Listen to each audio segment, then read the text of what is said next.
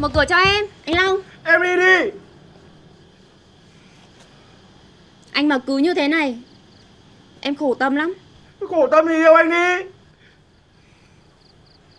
Anh đừng như thế nữa. Đừng có làm khó em. Em Em rất là quý anh mà. Anh không cần em quý anh. Anh cần em yêu anh cơ. Mẹ Mẹ giúp con với. Anh Long cứ như thế này Con Con không biết phải làm như thế nào cả.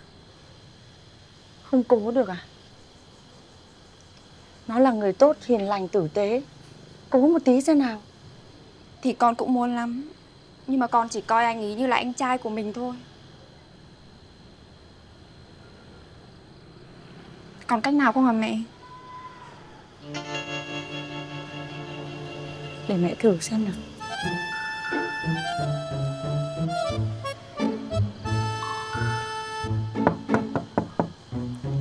Long ơi.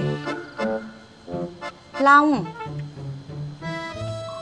Long ơi Mở cửa cô nói mấy câu này. Cháu chốt cửa rồi. Khổ quá. Cái thục anh ấy Nó Nó dị ứng với cả lông động vật. Thế cho nên là Nó cứ nhìn thấy là nó sợ Thế cho nên là nó bảo nó không nuôi. Thế cái thục anh nó không nuôi thì Thì Thì cô nuôi được chưa? Cô nói thật không ạ? Sao không thật? Nhà có hai mẹ con neo người thế này. Thế cô Cô nhận mày làm con rể nhá. Ok mẹ. Mày không thích thì mẹ thích. Mẹ nhận cơ mà. Mẹ. Con cảm ơn mẹ.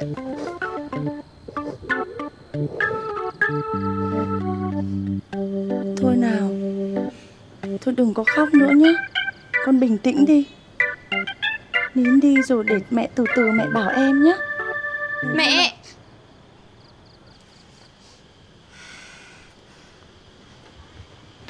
Thục Anh. Này! Để mẹ đi mẹ nói chuyện với nó. Thục Anh ơi! Thục Anh! Nghe mẹ nói này!